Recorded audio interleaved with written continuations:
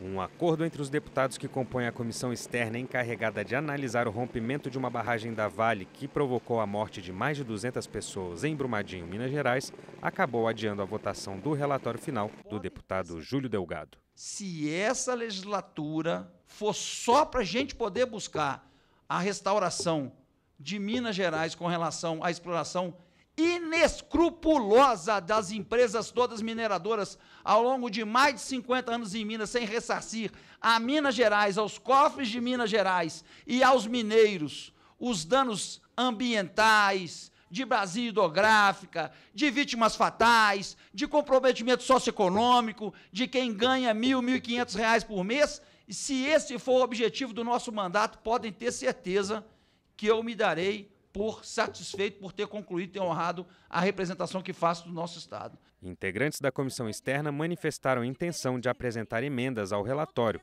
que propõe um conjunto de nove projetos de lei com o objetivo de prevenir outros desastres, como o de Brumadinho. Nós temos algumas, alguns artigos aqui em que nós vamos punir todo o setor, sendo que todo o setor não é culpado de catástrofes que aconteceram no nosso Estado.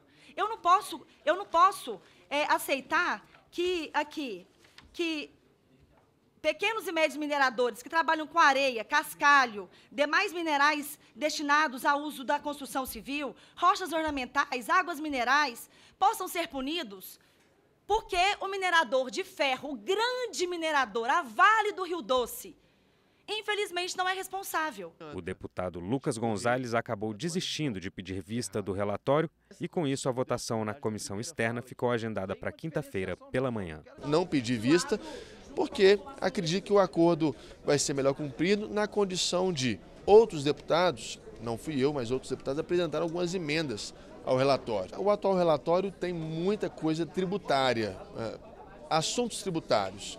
Essa comissão, ao meu ver, visa questões de fiscalização de barragem. Assuntos tributários a gente tem que deixar para quem entende de tributo. Hoje, essas empresas lucram muitíssimo com a exploração predatória dos recursos naturais, levam essas riquezas para o exterior e a população brasileira fica com a lama, fica com a miséria, com o sofrimento, com o empobrecimento das suas comunidades.